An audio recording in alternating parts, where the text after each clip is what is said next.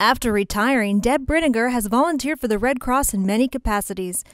Donating platelets is perhaps her most vital role. I wanted to give back to the community, and I firmly believe in what the Red Cross stands for um, to be there um, for anybody um, when they need blood, um, recovery from a disaster, um, service to the armed forces, etc.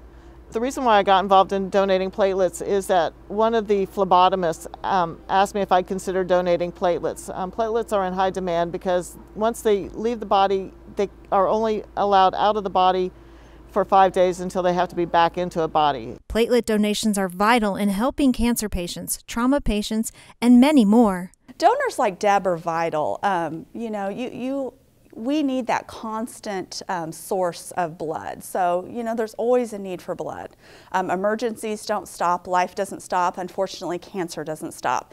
And half of our platelet donations go to cancer patients. So, Deb, who donates those platelets on a regular basis, is vital to ensure that when the hospital and the patient need that product, we're providing it. During the pandemic, donations have slowed, but Deb explains that the need to donate is still there. We still have patients that are undergoing surgery that are fighting cancer. Um, and so, yeah, our surroundings have changed, the climate has changed, but the need has not changed. On behalf of DeVaughn James Injury Lawyers, we're honored to recognize this week's Pay It Forward Volunteer of the Week, Deb Brinegar.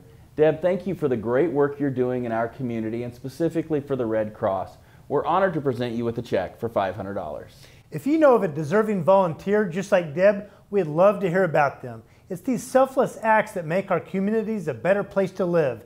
You can nominate a volunteer by going to foxkansas.com and click on Pay It Forward.